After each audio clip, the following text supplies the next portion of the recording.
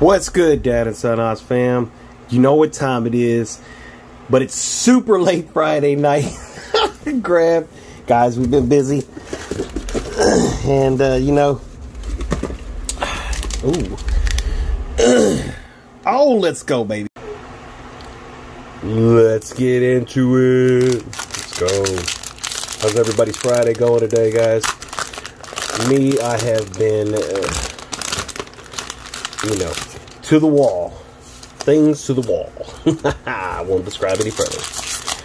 But I have had a super busy day, guys.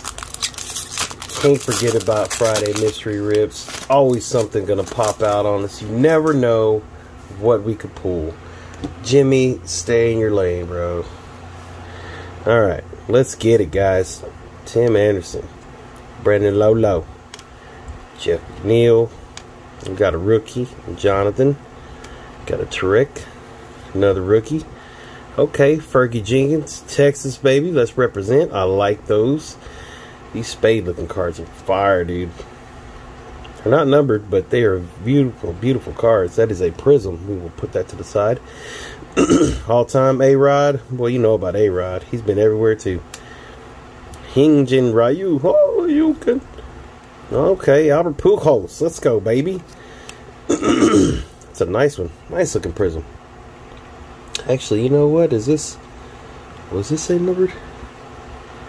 No, but why is this backwards? It only mean one thing. It's Trevor. Alright, why is this backwards? What is the deal with these guys? Okay, he's a producer in Raphael. Alright, we got Alex last, but, you know, there wasn't nothing going on. That's kind of crazy that was backwards, guys. That's pretty wild. Alex Bregman, H-Town, baby, repping. You know what I'm saying? That wasn't a numbered one, but that is still a great looking card. Bonus pack, baby. Yes, sir.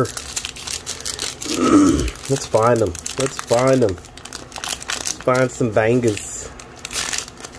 Yeah. Alright, guys. Let's get it. Got Charlie Blackmon. Okay. Ryan Zimmerman. Alright. And our last one. Rookie card in Estevan Florial. Alright, guys. Not too shabby, not too shabby. Uh, there you go, Friday pulls, guys. I don't think that was too bad. I like Mosaic, man. They're good looking cards. They always look right. Uh, let me know in the comment section what you think, guys. Till then,